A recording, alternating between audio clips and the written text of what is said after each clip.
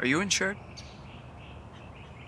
Can you, at least, promise me you'll think twice before immediately purchasing the next crazy thing someone tries to sell you? Fine. I promise. What are you talking about? Bears, sir.